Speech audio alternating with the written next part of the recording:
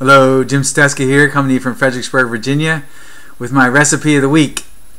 Uh, the recipe this week that I chose is shrimp feta wrap. Okay, very uh, easy to make. Uh, probably if you have all, all the things uh, ready to go, uh, however long it takes you to cook shrimp is about how long it'll take to uh, to make this this delicious meal. Okay, I usually eat a lot of wraps for lunch. Okay, uh, very very uh, easy and, and convenient to uh, to take with you, especially if I'm on the road. Uh, I travel on the road a lot, um, and, and and sometimes it's during lunchtime that I am on the road. I could easily eat one of these while uh, while on the road as well. Okay.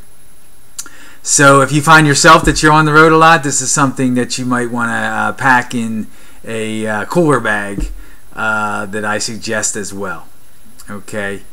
Uh, what you do is you take a, uh, a wrap. Now I use this type of wrap. This is the one I highly recommend. This is Joseph's flax oat bran and whole wheat lavash bread. I think that's how you pronounce it. But um, this is a highly nutritional wrap. And I get these at BJ's. They come about eight uh, eight wraps in a in a pack. Okay, and sometimes I cut them in half and sometimes I'll uh, use the whole wrap. Uh, for this recipe, I do use the whole wrap. Okay, and just uh, some of the nutrition. They're only uh, for a whole wrap is 100 calories, which is uh, excellent. If you do a half a wrap, it's 50 calories. Okay, and it's uh, very low carbohydrates, seven grams of carbohydrate. Okay, three grams of fiber. so it's it's a very very highly nutritious uh, way to get bread, if you will, uh, without having to uh, eat a whole bunch of carbohydrates uh, and, and calories. So, uh, so I take one of these wraps. Uh, what you do is you put about two cups of salad. I take like a, a bag salad and, and, and put about two cups of salad in the middle of the wrap. Okay, or at the end of the wrap, really. Um, and then I put cut up about a third of a cucumber. So put some cucumber uh, on there. Uh, grape tomatoes I use, I cut those in half. Uh, probably about 10, 12 grape tomatoes I'll, I'll put on there. Uh, and then uh, feta cheese.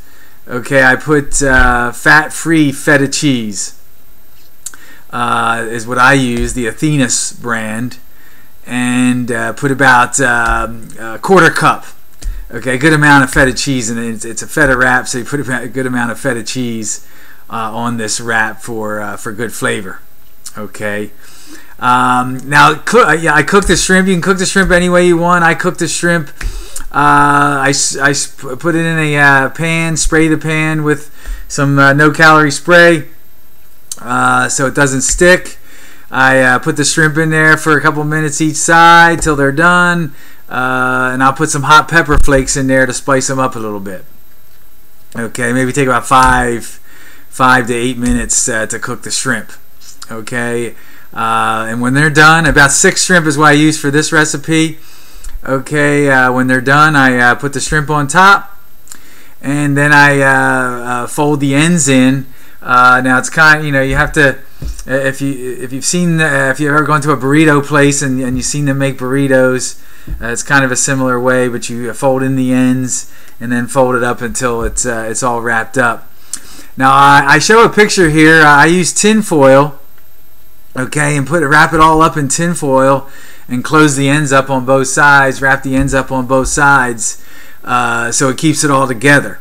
And what I do, uh, the best way to eat this, in my opinion, is just to peel, uh, take one end of the tin foil and start peeling it down, and bite it as and, and peel the tin foil as you bite it uh, on down, and that keeps it all together. Uh, stuff doesn't fly all over the place. Uh, and everything like that. So I, I, believe if you tried to eat it without the tin foil, it would be uh, it would be a mess. Okay. Um, now I don't. There, there are. It, this recipe didn't call for any uh, particular dressing or anything like that. Uh, but if you wanted to use dressing, I'd probably use a Walden Farms balsamic vinaigrette, a no-calorie dressing. Walden Farms. I've talked that, about that kind of dressing in the past. Uh, Walden Farms is a, a zero calorie uh, brand dressing. Okay, and they have a balsamic vinaigrette. So if I was going to use, I didn't use it for this recipe. If I was going to use one, that's what I would use.